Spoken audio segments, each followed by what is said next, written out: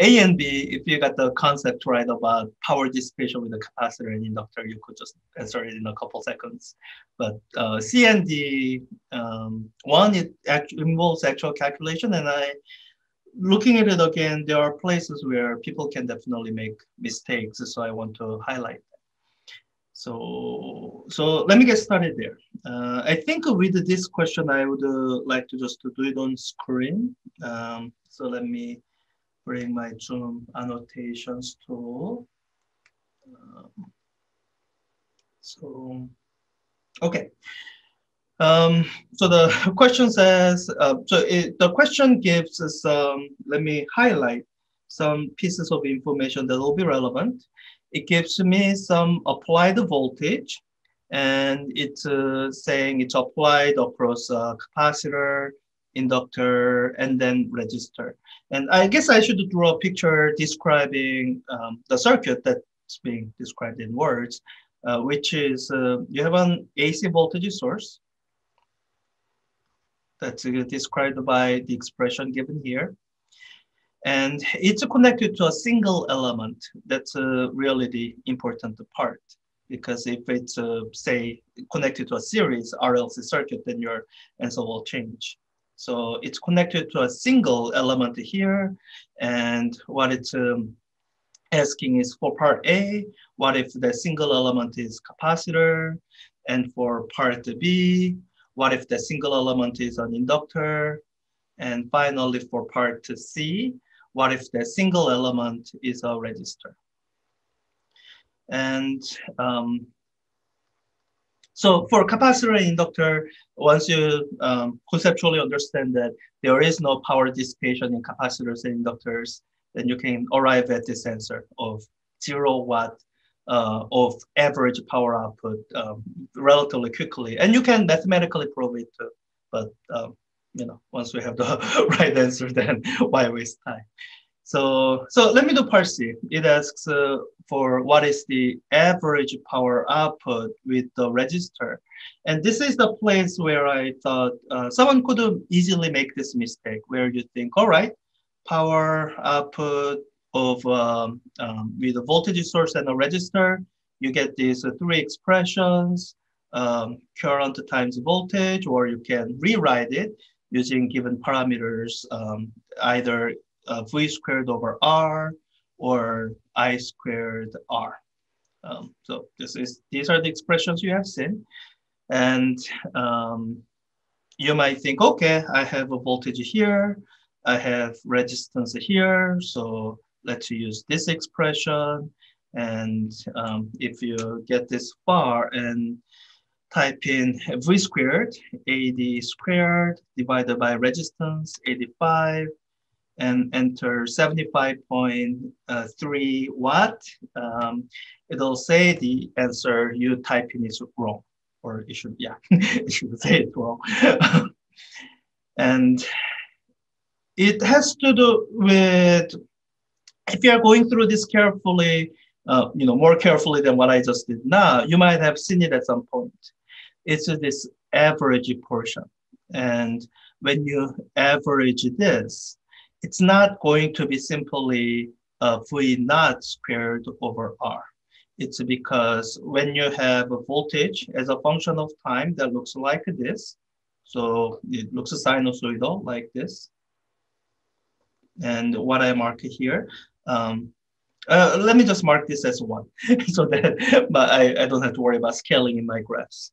Uh, when you square this uh, uh up in this scale, this is what it's going to look like. The square will have only ever reach up to one.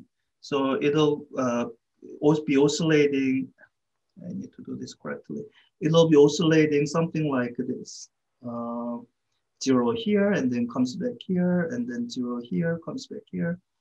So when you take the average, the um, so you know when you take the square first, and then the average.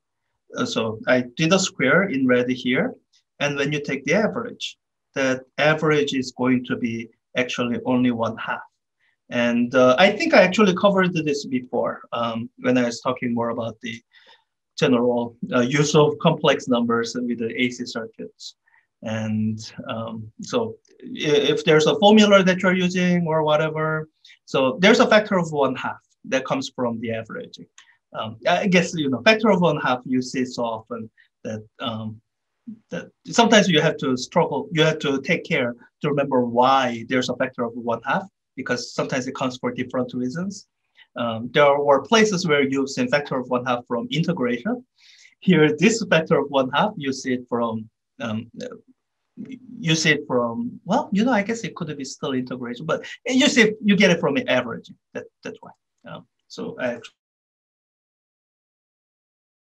divided this by half to get the correct answer, 37.6. And this is why um, it's uh, the question is asking about the RMS voltage of the AC source. Because when you're dealing with something like this, like average power, you don't really want to be dealing in terms of the amplitude because amplitude squared over R will give you the wrong answer. So this, uh, so the correct answer here is um, V naught squared over two over R. That's the correct answer for the average of the power. And what you, the quantity that I have here, this quantity here, is what I would identify as, um, let me just rewrite this in a cleaner form here. Uh, v squared average.